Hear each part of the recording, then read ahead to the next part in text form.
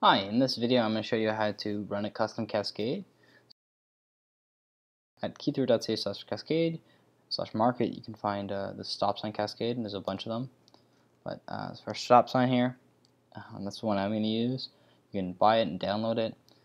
The file will look like uh, it's a .xml file. Essentially my goal here is I'm going to spot um, this stop sign here. And so I'm going to use the following script I've included in it in the description. So I'm just going to copy and paste the entire thing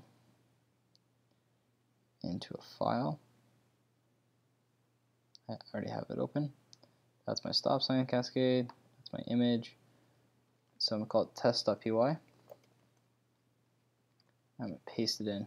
And so now I have to change well, what this file name computer's acting up a little bit. Uh, I want this file name here. I replace this line with the image I want. Place this in line with the XML file. And this is what it is.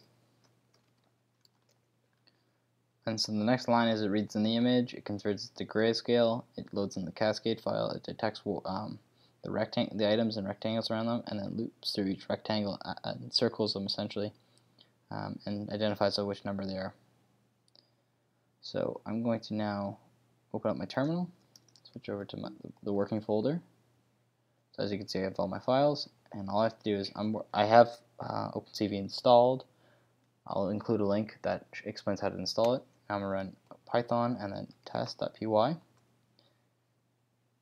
it did not work on that image.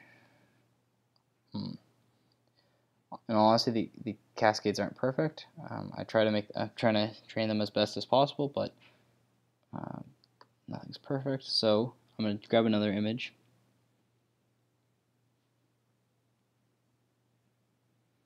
Called the folder is called split by video frame. I have a whole bunch of them. Essentially, what I did was I uh, went through uh, longboard around, grabbed a bunch of images, um, and then used that as my training. So let's start the first one here. Stop sign.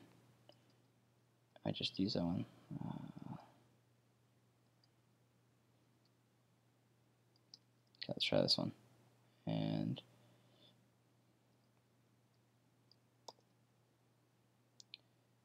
it's in my OpenCV folder. Actually, I have one here too. Um, okay, I'm going to use this one.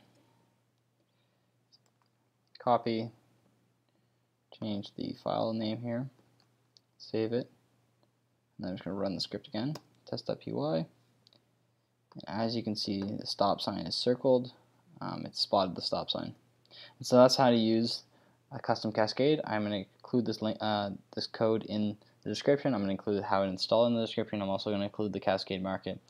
Um, for all you know, when you're watching this video, I've improved the Cascade. I can, I'm going to upload multiple versions of it, like, and slowly improve it over time. More images, the better it gets. Thanks for watching. Please subscribe.